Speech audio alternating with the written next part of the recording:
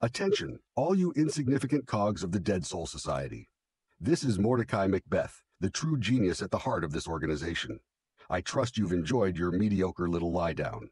Well, the break is over. I won't have the lot of you dragging this illustrious group down with your incompetence.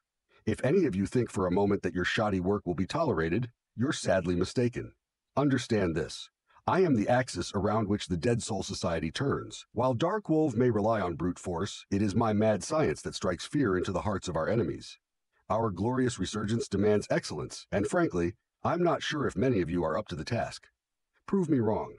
My patience is non existent, and my tolerance for failure is even less. Disappoint me, and you'll find out just how expendable you truly are. You will either rise with us or be trampled underfoot. So pull yourselves together, put an end to this pathetic lethargy, and get to work. This is your only warning.